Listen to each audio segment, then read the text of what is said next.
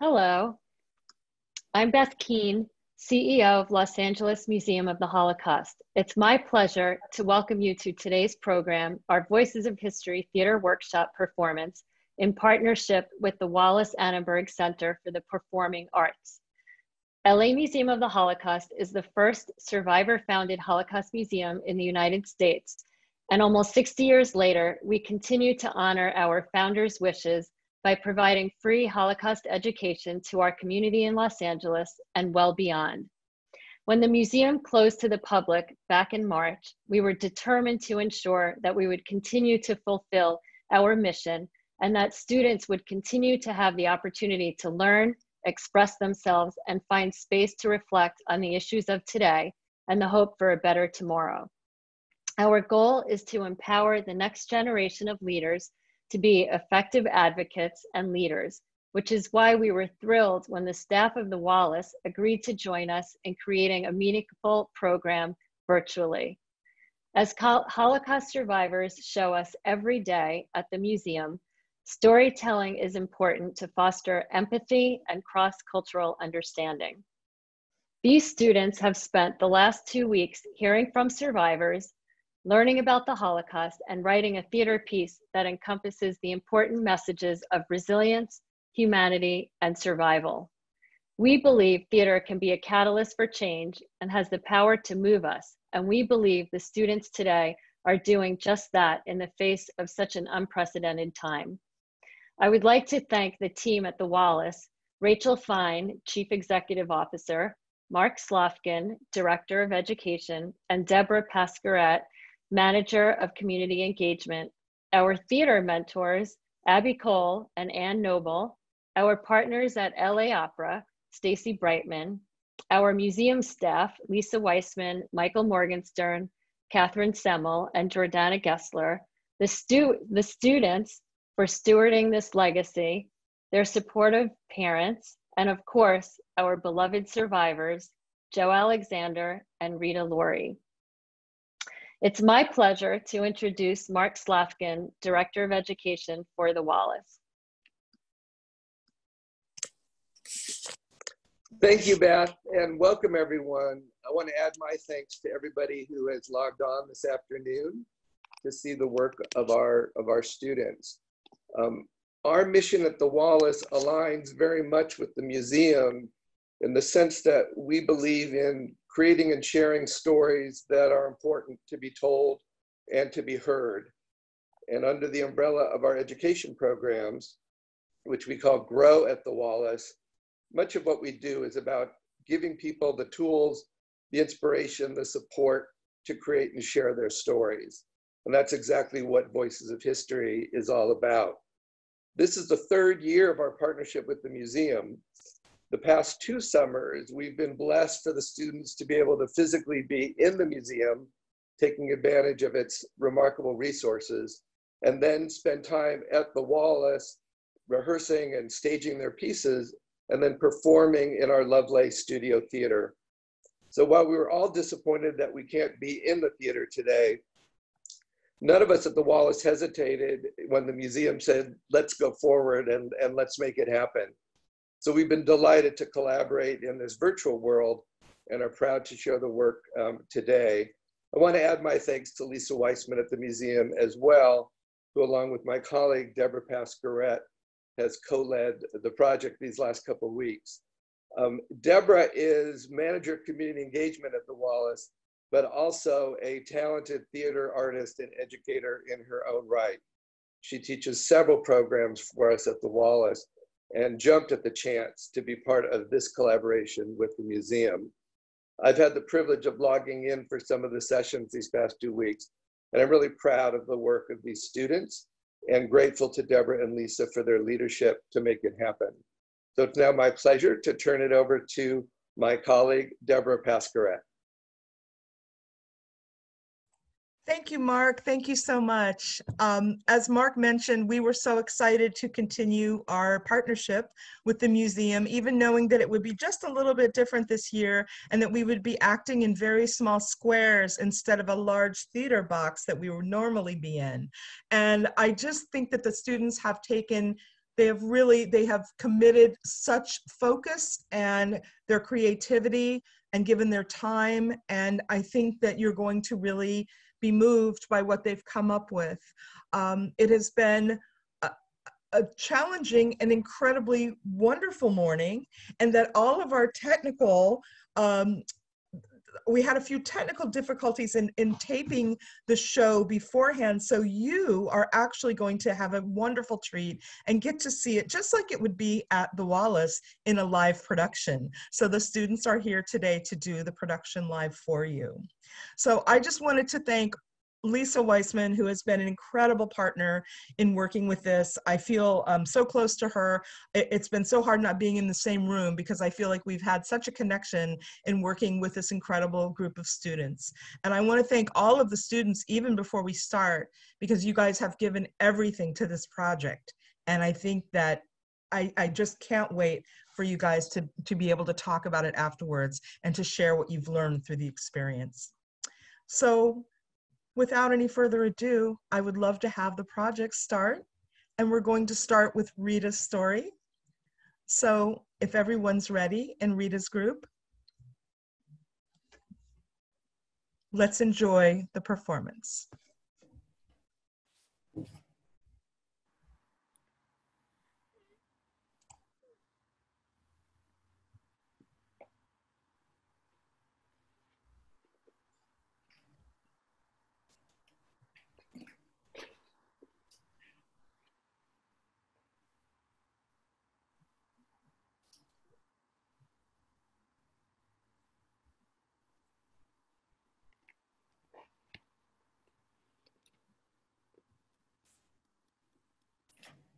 I knew I was going to write a book someday.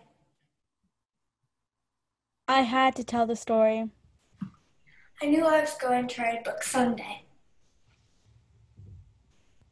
To write a book. To tell the story. My first memory was seeing the Nazi tanks out my window.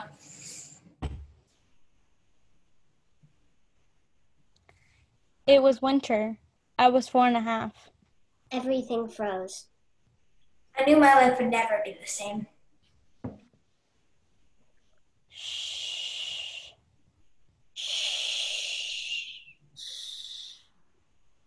People were getting orders to report to the train station, and there were rumors. The Nazis were coming. There was propaganda, troops, and guns. Sugarcoating the words to make it all nice, but it wasn't. We left, my family and my cousins, and we went into the dark night. And for six weeks we hid in the forest.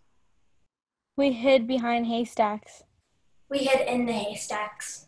Giant haystacks. You could fit all the way inside.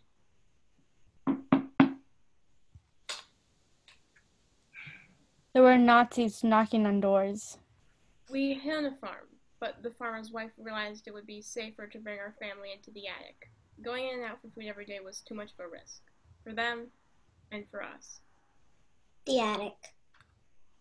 Four feet high. Eight feet wide. And only 20 feet long.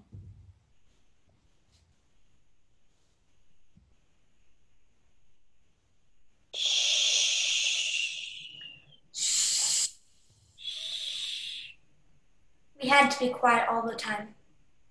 Silent. No noise. Even though we were kids. Or the Nazis would find us. There were 15 of us in the attic my family, and my cousins.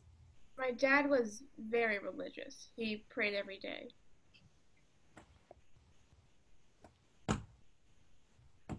We asked him, Do we still believe in God? Why isn't God helping us? Dad told us that God had not forsaken us and that we should still believe. We had Shabbat every week, but had to be careful not to start a fire. The floor of the attic was straw, so we had to be so careful. Sometimes we would put the candles in a potato to hold them. There was so much sadness in the attic. So much sadness. There were big spaces between the slats of the barn. It was freezing in the winter and so hot in the summer. There was never enough to drink or eat. My little brother just started lying on the floor, never getting up, and he kept calling to my mom. And then he died. I closed my eyes and pretended that it wasn't real. Soon after, it was Shabbat. We were sitting in a semicircle, and my mother had just lit the candles.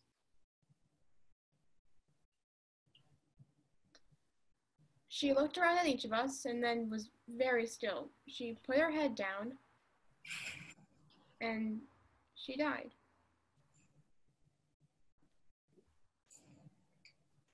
It was probably malnutrition, but we wondered if she died of a broken heart. She never got over losing my brother. There was only one small window in the barn. I vividly remember my sister and I looking out the same window and seeing our cousin shot and killed on the spot as they ran from the German soldiers. I will never forget seeing that. No matter what, we had to be quiet. We couldn't be children. We learned later that Maria, the farmer's wife, would hit her children if we made noise upstairs, so the Germans wouldn't know we were there. Quiet. Be quiet. Shh! We were there almost two years in that small space. When we left the attic, we could barely walk, and we still had the same clothes on since the night we got there. We were told to eat very slowly because we hadn't had a full meal in so long. And we were told we should not look at the sun directly.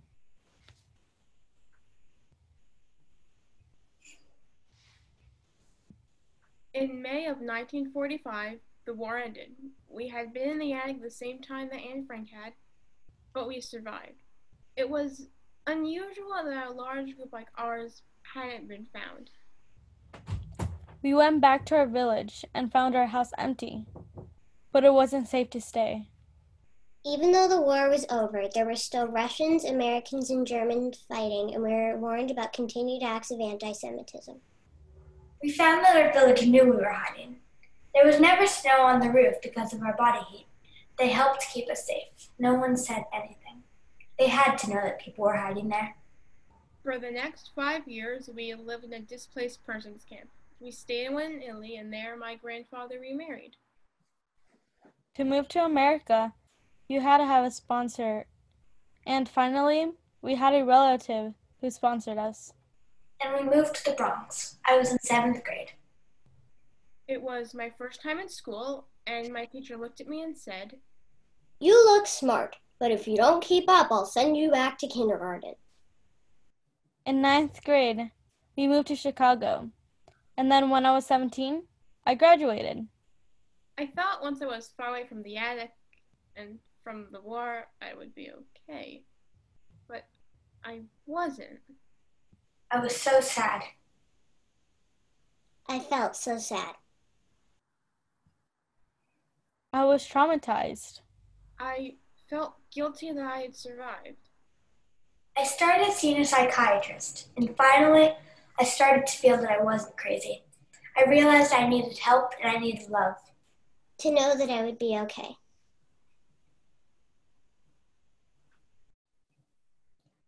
I finally started feeling I was bending toward the sun. I got married when I was 19 to my husband, Frank.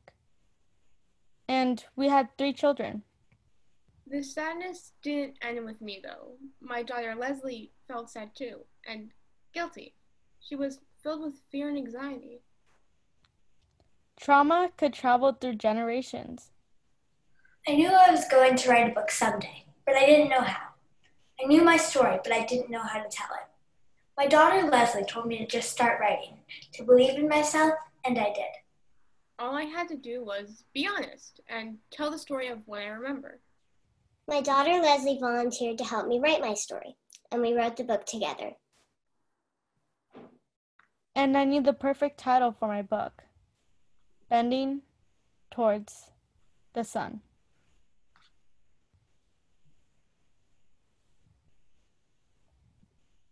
Because that's what I did.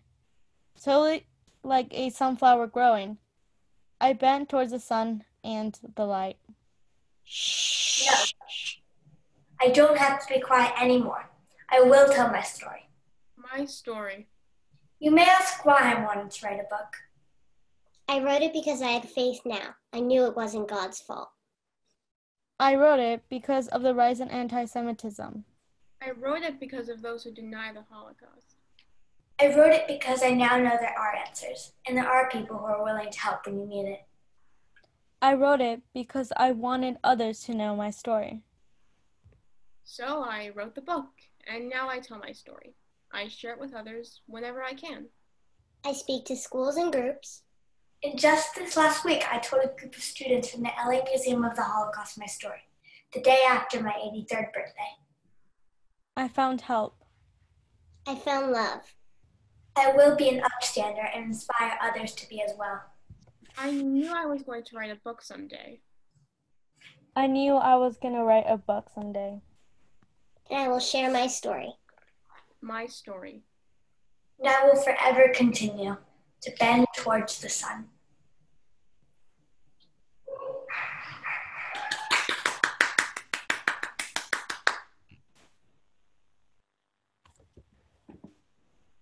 I'm sorry I started moving towards the end. The flashlight was burning my leg.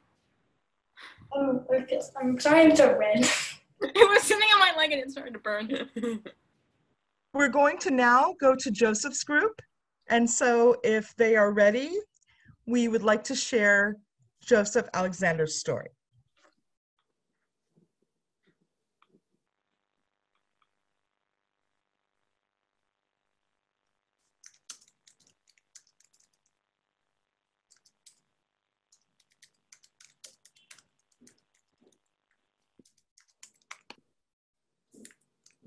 This is Joseph Alexander's story.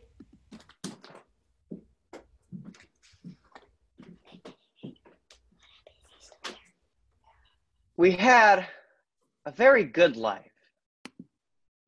It was 1939, and we lived near the town square in the city of Kowal in Poland. The Germans entered the square and took some Jewish families throughout our city, including our neighbors three doors down. A good life. There were rumors that the Germans were going to come back. My father loaded our family onto a horse drawn wagon, and we left our home, heading to our relatives. A very good life. When we stopped, it felt almost normal. We were in a German occupied territory about 15 and a half miles from Warsaw. I had to go to a forced labor camp during the week. On the weekend. It was hard work building a canal. Standing in the muddy water, I got blood poisoning. By the middle of 1940, all of the Jews were relocated to the Warsaw Ghetto.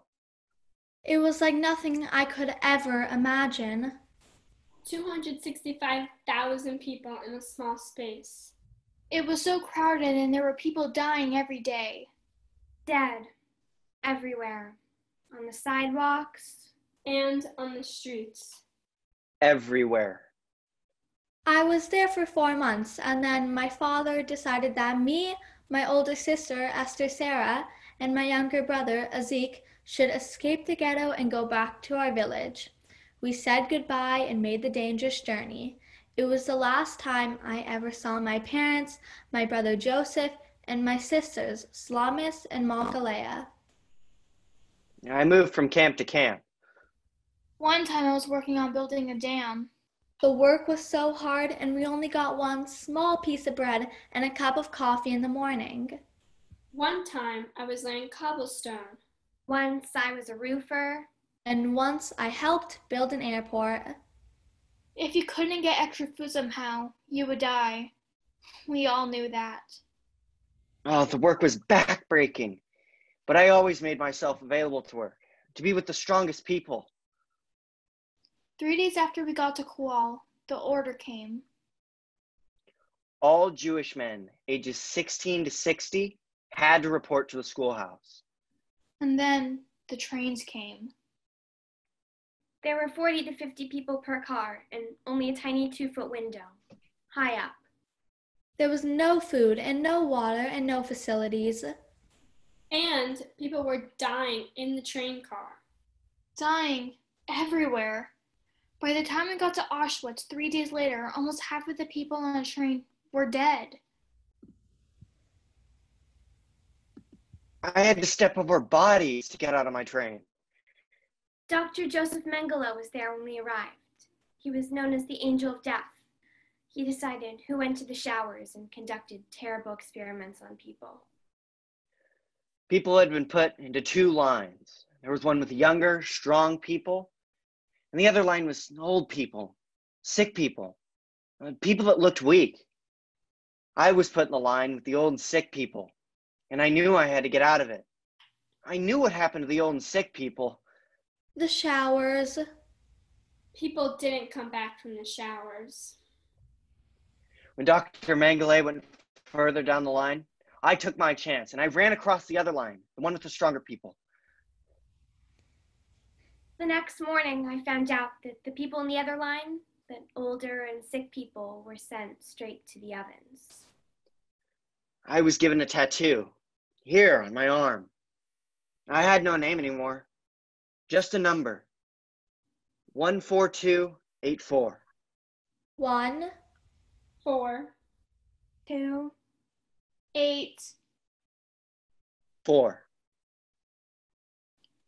In Auschwitz Birkenau, a tailor I knew from my hometown invited me to help sew clothes with him so I was able to get extra food. A few months later, I was sent with a few thousand men back to the Warsaw Ghetto, where we worked dismantling the ghetto buildings and stacking the bricks. While I was there, I contracted typhus, and I sat shivering behind a pile of bricks. I was spared because the German in charge of my group was kind. I knew that if you went into the hospital, you didn't come out. In early 1944, we were evacuated. We walked for three days and we were then shipped by cattle car to Dachau. Again, three terrible days on the train. And only two weeks later, I was sent to another camp, Kaufering, where I worked digging potatoes. The good thing was that you could eat the potatoes, and we did. We had baked potatoes. And then I was transferred again to another camp, where this time I worked in a kitchen for German guards. I also sewed for the German supervisors, and they gave me extra food. I wouldn't have survived if it wasn't for the extra food. In April of 1945, we were all returned to Dachau and put in a death march. We were forced to march, and when people couldn't keep up, they'd be left to die or they were shot. People died from exposure, starvation, and exhaustion. At one point, a bridge was blown up just as I crossed it. That night, the German guards disappeared, and the German police moved us into the village of Königsdorf. The next day, I saw the first American tank, and I knew we were free. I left right away with a group of my friends, and by late May, we arrived at a displaced persons camp. I had been at 12 camps. I couldn't stay at another camp. So I lived on a nearby farm. I started buying and selling food, like flour and eggs and chickens. I even traded items on the black market. I had it very good then. I briefly went back to Kowal, where I found one of my cousins, Mark, who had survived.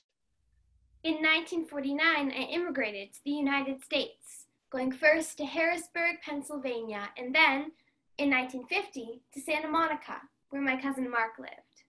After moving to Riverside for a short time and then to Victorville and to Fort Irwin, where I opened up a tailor shop, I moved back to Los Angeles in 1957. While my business partner helped get the new shop in Los Angeles ready, I went back to Harrisburg. There, I met Adele, and I married her two weeks later. I opened LA Uniform Exchange on Melrose Avenue, where I sold military uniforms. After 37 years, when I was 72, I retired from my shop. I will never forget seeing prisoners run into electric fences in Auschwitz. I will never forget seeing so many people beaten to death. I will never forget seeing the bodies on the sidewalks in the ghetto. I will never forget losing my family. I share my story because people shouldn't forget. I share my story because I hear students say they don't know about the Holocaust. I share my story because anti Semitism still exists. I share my story because there are many survivors left. When I came to America, I decided to take my brother's name, Joseph, to honor his memory. I will always have this tattoo, but my name is Joseph. We must never forget.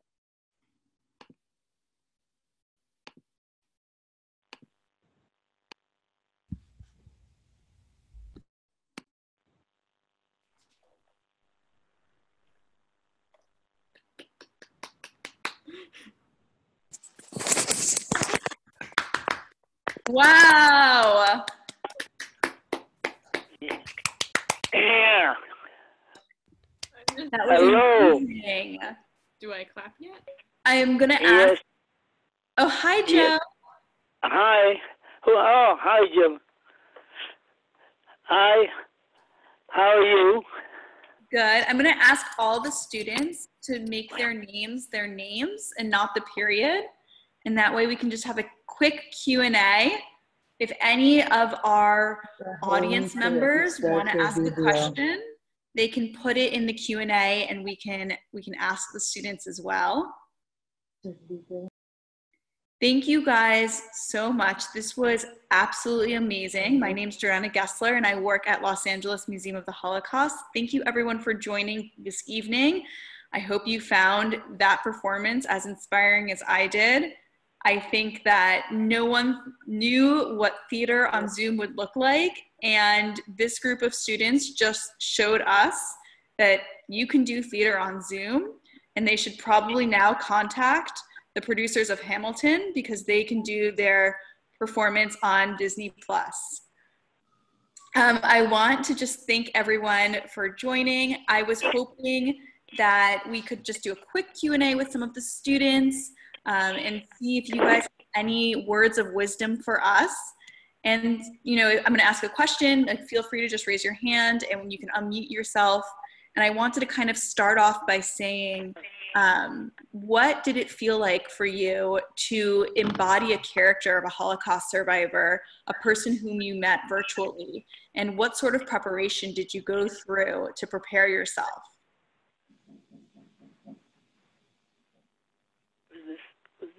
Alana? Well, it was very, it was a unique experience, like meeting a Holocaust survivor and like knowing their story and then like trying to create and share their story.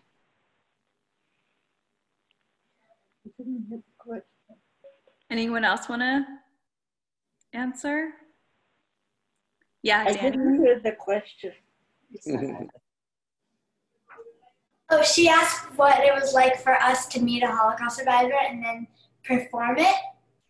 And I think it was special because you get to share something that's important and it's important for everyone to know and to be um, informed about and and even like if say I like messed up one of my lines.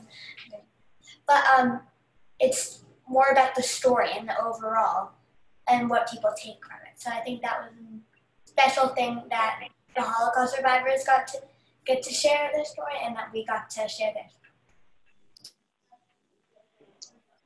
That was great. Thank you. Um, Kaya, you have a question or you have an answer? It was stressful. it's like just filming it and then just playing the film was stressful. Then they're like, way, we don't have, or like something happened with the film, so now you have to do it live in front of the said survivor. And I was like, you want me to do what? I'm sorry, we have to do this now.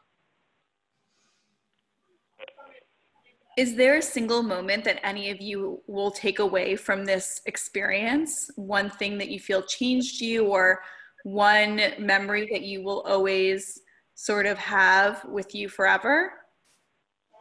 I um, one important memory to me is um, Joe.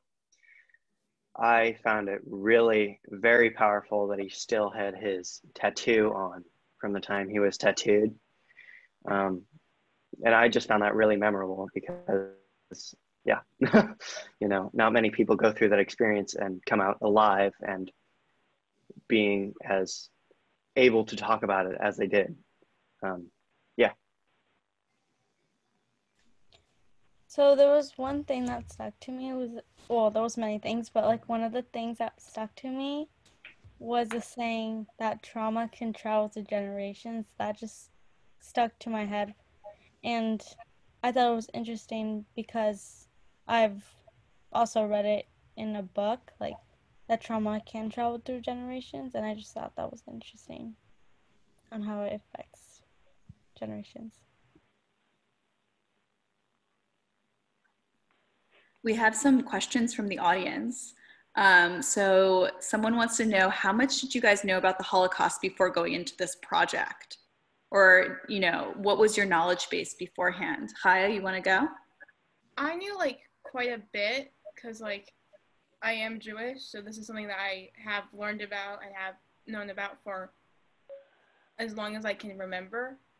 But one of the things is with the experiments on like the siblings, they only ever talk about the ones with the twins and not with the triplets, which was kind of alarming for me because I am the oldest of a set of triplets.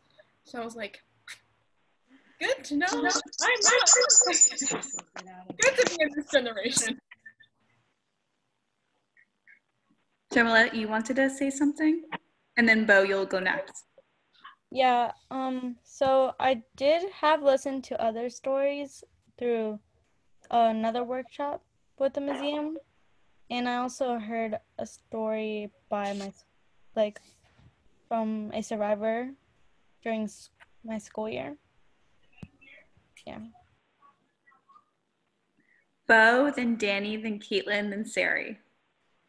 Okay, so um, well, I think I knew a lot about the Holocaust before this workshop because, well, one, I'm Jewish, and also my mom has been taking me to survivor talks at the museum for quite a few years now. And um, yeah, so I think I've actually been to a survivor talk with Joe at the museum a few years ago. So I thought it was really cool that I got to um, tell his story here. Danny, you wanted to also share? Um, so I think I knew the basics that it was um, that there were Nazis who were going around doing terrible acts and killing Jews, and I knew that. Which, um, but I didn't really know what it felt like to actually be in that position, or how, or the emotional, their emotional feelings. And something else I learned was that people weren't just dying, not just killing them, they're also dying because of illness and they couldn't go to the doctor. Like in Me Destroy, her brother and her mom died because they were sick and they couldn't go to the doctor because they would be killed. So I think no, learning that was very, was very um, something I feel like everybody should. Caitlin? So I definitely knew some things about the Holocaust before, but then, like, I've heard some survivor stories, but then when I actually performed and felt what the survivors were feeling, um, then I definitely understood more of it. And now I feel like I know a lot more. Sari, and then Alana. Um, I already knew like a lot of stuff about the Holocaust because my family's told me things, and I've read books like The Diary of Anne Frank but I've never got to act out someone else's story to them. So I thought it was really interesting that the survivor could hear their own story. Alana? I knew quite a bit about the Holocaust before this because um, I've read I've read many books about it, and my family has told me stuff. And an author named Alan Gratz went to my school, and he's written mer- many um, books about the Holocaust and World War II, but it's different when you hear it from an actual survivor. Um, we have a question from the audience. Um, what would you like to tell others about your experience of what you have learned in doing this production? Chaya, yeah. There are moments where, yes, it's obviously a very sad thing. And there was one part while I can't remember if it was Rita or Joseph when they were telling that story that I started to tear up. I was like, no, I'm not gonna cry. But there's also weirdly sort of like a happy moment and also just sort of like a feeling of like awe. I don't know why, but when I first saw like the lit on the little box like their faces when I first got into like that class when they were telling the story, I was like, that's them. Like it was like the weirdest way of like meeting a celebrity. It was interesting. Um, what do you guys, what did you guys find the most challenging about this experience? Was it the tech? Okay, Finn, yeah.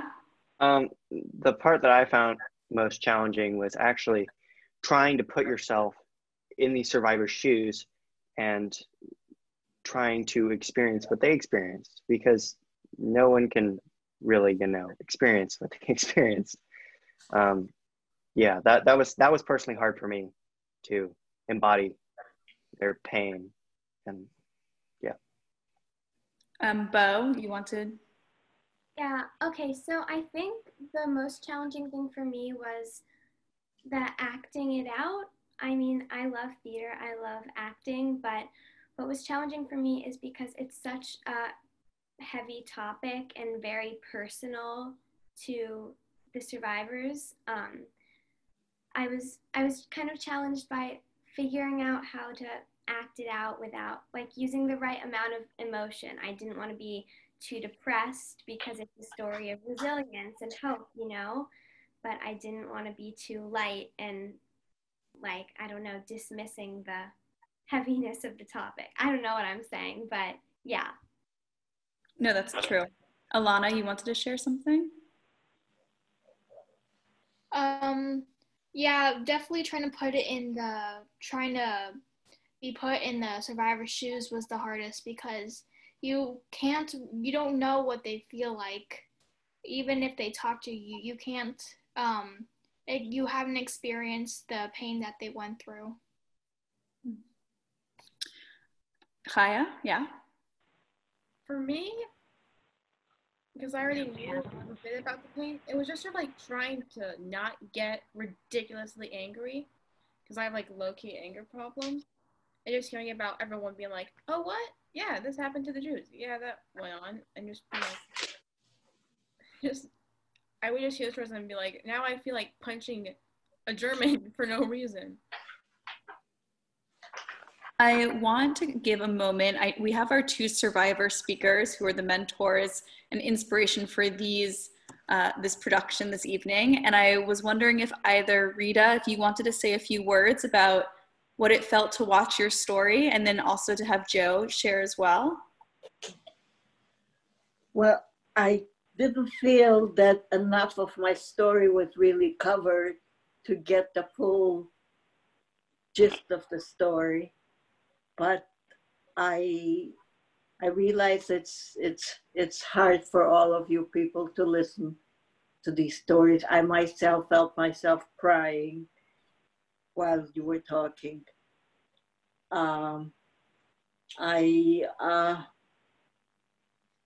I hope you you learned something from being there, and uh, I enjoy meeting all of you. Joe, do you want to add anything about what it felt like to, to watch these students bring your story to life on a virtual stage? Well, first of all, I'd like to thank you, all the students, for performing. They did a very excellent, uh, excellent job very good, and I appreciate that very much. And the reason I still talk to all the schools, to the schools, to all the kids, is because after all we went through, today there's still so much anti Semitism going on. And the Jews always try to help every other people, every other nations, everybody, every other people, but none of them do ever try to help any Jews. So I appreciate very much what these kids did. It's it's unbelievable that the job they did, and and also you, Jordana, for you, thank you for bringing this on, and to let people see and hear about the experience we went through. Thank you very much. Thank you, Joe and Rita. Can I make one comment also? Of course, Leslie. Thank you. Um, I want to thank all of you. I thought the performances were just beautiful. And I think the fact that you could bring tears to my mother's eyes to make us feel what she felt like. Um, and I, you know, got a feel for Joseph's story and what what he went through. I thought you did a beautiful job. How difficult to do this from your own rooms, from your own homes. And you know, one of the reasons we tell this story over and over again in so many ways is that is a key to making the world better is having all of us get to meet and talk to people different from ourselves. And you all got to not only meet and listen, but then have to play their roles. And that's how we forge empathy. That's how we're able to, you know, understand people and help bring about change. So I really appreciated this. I thought it was wonderful and thank you. Can I just say something? Of course. Okay. The reason, my main reason for agreeing to write a book with my daughter, first of all, I knew it would be a good book if uh, she wrote it with me also is because of the anti-Semitism that I still hear about. And it makes me very angry. And people saying the Holocaust never happened. And so I wanted to, to put it into writing that it did happen. I think that um, these fears that we hear because these students so poignantly and brilliantly brought these critical narratives um, to stage digitally, I hope that we will ensure as a community that we will continue to fight anti-Semitism and stand up against bigotry and prejudice. And it's because of programs like this and wonderful partnerships that the museum has with the Wallis that we're able to bring such dynamic students. And you students, you guys are the future. And I think that you will go on to do incredible things and always remember these important lessons and legacies that you learned here from Joe and Rita. And I'm sure they'll stay with you forever. Um, I want to also just thank everyone, unless someone has a last minute comment that they want to close with. I want to thank you guys for joining us. I want to thank Mark and Deborah and everyone at the Wallis and the staff at the museum, and but most of all the students and your parents um, for supporting you in this passion and dream um, and that you guys were really able to get do so much hard work in the last two weeks to bring these stories to life. So thank you so much. I hope you guys all feel very proud. Um, it was you guys can take a bow if you want to.